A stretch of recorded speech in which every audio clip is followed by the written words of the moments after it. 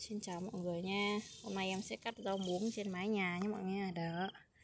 Đây là mái tôn nhà em. Mái tôn nhà em đây. Đó.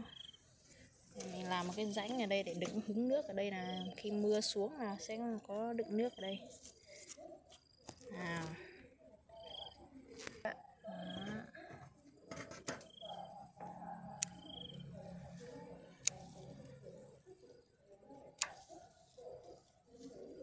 Xanh đấy rau muống này đấy rau muống tím có ngon đấy xanh gì ngon gì đấy rau muống trên máy tôn nha mọi người nha này cứ hai ba ngày này ta lại thu hoạch. Một lần thu hoạch được một rổ, rổ đầy luôn.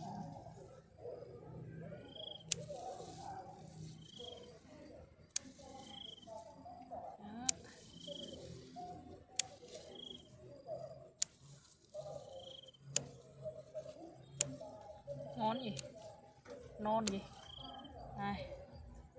Nó chỉ non luôn.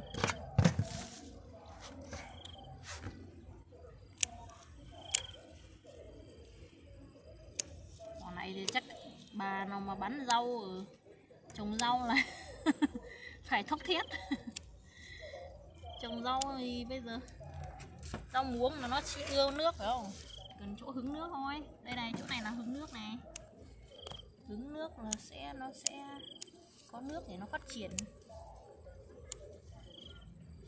Có một chút đất một chút nước nó sẽ phát triển xanh tốt luôn. Đấy là mình cắt được có rúm này đã thấy đầy rú rồi nhỉ? Ừ. chưa nói các đoạn ngoài kia kìa.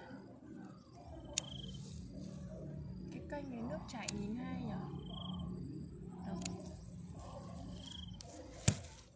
cành nghe nước lần này người ta cắt Đi trồng cái gì ấy Xanh thế ngon đấy đấy em biết rau muống gì đây? Không biết. Rau muống lá chia cái này rau muống lá chia khác nha lá chia là cái loại mà loại rau muống mà người ta trồng mà để như kiểu là ờ, trồng ở trên cạn đấy đây này là rau muống cạn đấy Nên thế bảo là ăn thì nó giòn ngon lắm. Và mình ăn rất nhiều bữa rồi.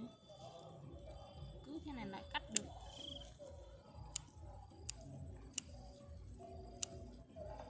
ngày xưa mình trồng rau muống ở ruộng ấy. Suốt ngày phải đi lội bùn nhỉ? Ừ. ở trên này chắc không phải lội nữa